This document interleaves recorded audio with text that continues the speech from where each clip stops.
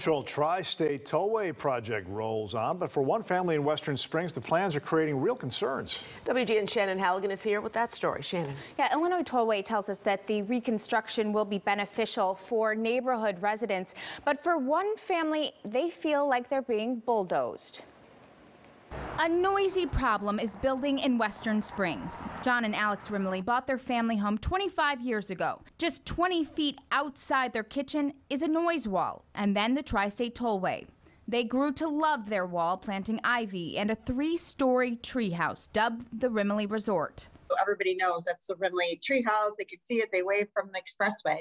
But Thursday, the noise wall is coming down. After years of meetings with the village and the tollway about the construction project, they just found out it's happening out their door, whether they like it or not.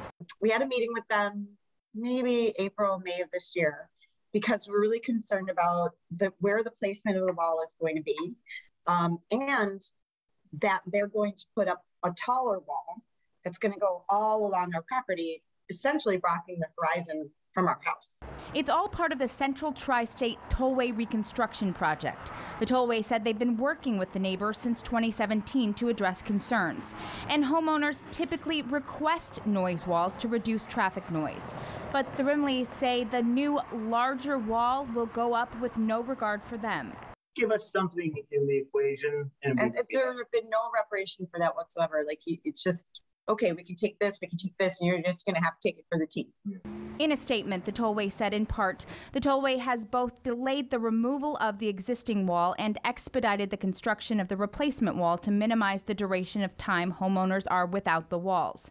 The new noise wall is expected to be completed by the end of the year, so it will be in place to reduce construction noise when mainline work on the 294 project begins late this year.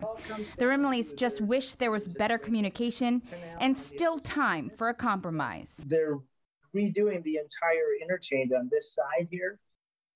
These people move earth for a living. I don't think it's impossible. The Rimleys are concerned that the construction could damage part of their foundation from their home. They've been told that if that happens, they can file a claim. We reached out to the village for comment, but still haven't heard back. Thank you, Shannon.